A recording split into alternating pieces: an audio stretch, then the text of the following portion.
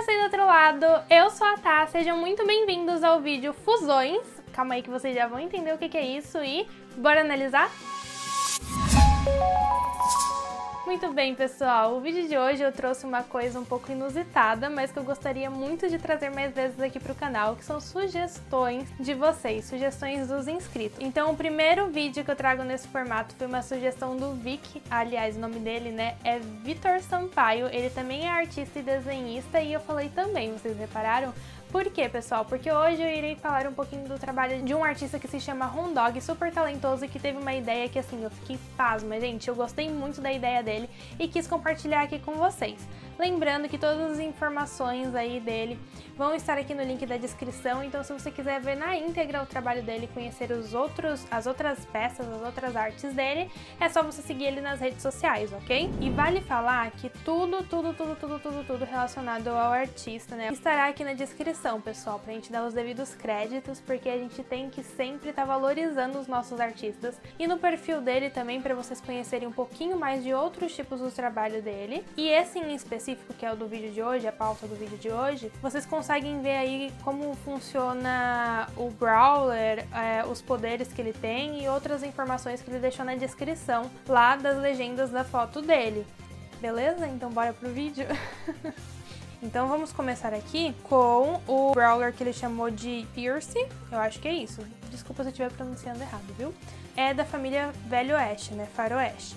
Então ele fez a junção, pessoal, do Brawler Coach, do Cacto, né, do Spike e da Shelly. Gente, eu achei a criatividade dele assim num nível elevadíssimo e por isso que eu trouxe também esse vídeo. O, assim que o Vitor, né, que o Vic me mandou, eu já fiquei assim, Caraca, gente, que ideia genial. Eu preciso levar isso pro canal. Eu curti bastante o visual, né? Ele tá com a arma da Shelly pra cima e a do Coach na outra mão, então ele tá bem munado. E além disso, ele tá com a faceta, vamos dizer assim, né? A estrutura do corpo dele é mais humana, porém é do Spike. Então ele é todo espinhudo, né, pessoal? Espinhoso. E o cabelo também. Trouxe o cabelo da Shelly com as vestimentas dela. E também o cabelo, a única diferença é que não é roxo, como a gente é acostumado ver mas sim vermelho, pessoal, para remeter ao coach. Então ele fez uma fusão muito louca aqui que eu curti pra caramba. Então a gente pode ver que tem as tonalidades de roxo na roupa para ainda remeter a Shelly, mas o cabelo permanece vermelho. Curti bastante, tem ali o coldre, né, o cintinho dele, as botas, se não me engano, é do coach. Então ele fez essa mistura aí de, de a bandana remetendo a Shelly. Também temos aí, eu acho que a calça remetendo ela com essa listrinha lateral.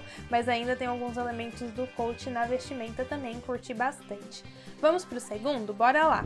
Aqui, pessoal, é a família, né, do Arcade, então ele deu o nome de Arcade. E eu curti, assim, muito, muito, muito, muito, muito, muito, muito, muito. Eu achei que esse visual, né, e essa fusão ficou muito tecnológica. Faltam palavras para descrever, porque ele colocou a cabeça do 8-bit, com o corpo do Rico. Meu Deus, é isso mesmo, né? Ele colocou até um, uma espécie de skate ali, que pra mim é novidade, pessoal. Se eu não tô identificando qual é o Brawler, comenta aqui se você sabe qual é. E, né, óbvio que a arma do Broke aqui, com um tomzinho mais de tecnologia ali, uma pitadinha, me parece até que vai sair uns lasers aí dessa arma que não um foguete. Então eu curti bastante, ele tá dando o um joinha aí em menção a um dos Brawlers, curti muito. E, e, eu não sei se vocês repararam, pessoal, é que assim, é que assim, é demais pra mim. Ele tá com o óculosinho do Broke, né? Tá todo numa renta aí, todo no estilo.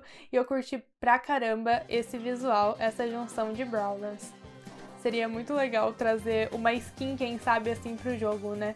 Ou então pelo menos igual daquela M Super Fun que, assim, eu sou suspeito para falar porque é uma das minhas skins favoritas, mas que traz aí algumas referências, eu com certeza ia comprar. Vamos lá, agora temos mais um Brawler aí, né? Mais uma fusão de Brawlers no Mortuário, que é a junção de Ems, Morts e Frank. Eu não sei nem o que falar, porque ficou incrível.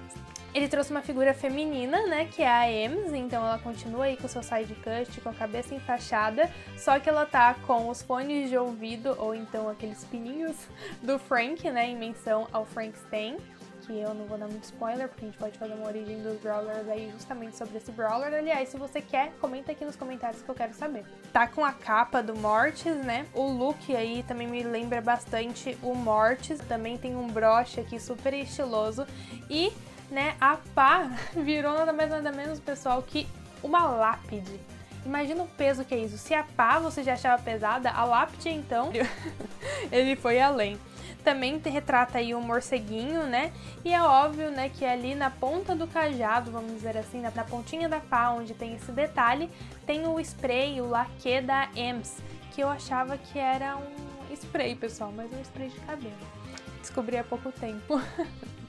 e assim, foi o que deu o charme nessa peça, nessa arte, eu curti bastante.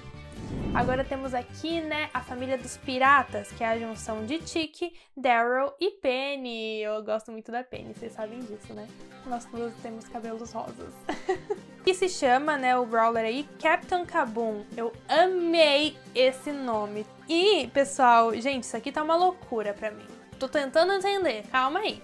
Na cabeça do Tiki, com os brincos aí, né, bem pirata. E além disso, tá com tapa-olho também, então né, ele perdeu um aí no meio do caminho, pessoal. E o corpo tá uma mistura de Daryl, bem robô, tecnológico. Então ele não tem uma perna como Daryl. Um dos braços é a bomba, é, é, o braço que solta a bombinha, né, do aquelas minas do Tiki e no outra mão nós temos a arma da Penny, bem como aqui na cintura, né, nesse cinto, o baú do tesouro dela, que é a torreta, que eu amo. então eu curti pra caramba esse personagem.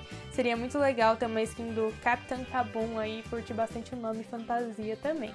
E temos mais uma Brawler aqui, pessoal, pra nossa lista, que é a Eva. Ela faz parte desse universo aí da botânica, do, da estufa, da Rosa, que é a junção, né, da Rosa, Sprout e Bia. Curti bastante essa personagem, também traz elementos dos três personagens, dos três Brawlers. Então nós temos aí um capacete, né, com o cabelinho para fora, que faz uma menção aí à Bia, com também as abelhinhas dela espalhadas pela imagem. E do lado esquerdo nós temos as rosas da rosa. Nós podemos observar também que ela tem a interface da rosa também, pessoal. Ela tem óculos, né? Tem algumas sardinhas que remetem à Bia. E o corpo é totalmente tecnológico do Sprout. Curti pra caramba que ela tá com um capacete, né? Como se fosse uma estufinha ali que man mantém o Sprout vivo, acredito eu. E as luvas de box da Rosa. Então, ó, curti pra caramba. E ela tem, pessoal, como se fosse um patins, né? Achei bem interessante isso. Eu fico só imaginando os poderes que esses brawlers teriam, né? Será que seria alguma coisa de cada brawler? Nossa, ia ser insano, ia curtir bastante. Então, curti pra caramba a Eva. E agora temos essa família do Bar do Barley, ou então da cidade, né? Eu acho que é Bar do Barley. O nome desse personagem ficou Pendleton, ou Pendleton. Pendleton. Pendleton. Então ele é a junção de três Brawlers, né, da família Bardo Barley, como eu já havia dito, que é Byron, Barley e Piper. Ele trouxe uma figura aqui do sexo masculino, acredito eu, né? Curti pra caramba que ele tem barba e cabelão loiro, igual a Piper. Tem o guarda-chuva, pessoal, que pra lá de estiloso, sério, curti pra caramba. Trouxe a referência do robô, como se fosse aquele monóculo, né? Com o visual do Barley, o chapéu cuco também é do Barley, a roupa, né? É toda estilizada aí, bem Byron. Ele também segura numa mão uma garrafa do Barley e na outra, como disse, o guarda-chuva e ele tá com o braço robótico. Eu adorei a pose que ele segura o guarda-chuva, muito estiloso, tá pessoal? Desculpa. E além disso, eu devo falar que eu não deixo passar nem os mínimos detalhes, né? Então os anéis nas mãozinhas dele são os anéis também do Byron. Curti pra caramba esse visual perfeito e ele também tem a mochilinha aí de sonhos, acredito eu, do Byron. E esse foi o último, pessoal, que nós analisamos no vídeo de hoje. Agradeço muito por vocês terem ficado até aqui. Se inscreve no canal, deixa seu like, me acompanhe em todas as redes sociais, é tudo arroba Protagame, tanto no Facebook, Instagram, Twitter, Twitch e TikTok. E ah, mais uma coisa, aproveita e coloca aqui nos comentários porque eu quero muito saber qual foi o seu personagem favorito, qual foi a sua fusão favorita e também inventem aí que eu quero saber da criatividade de vocês qual seria o poder desse Brawler. É isso, pessoal. Essa é minha deixa. Eu quero muito saber a opinião de vocês e tchau, tchau! Até a próxima!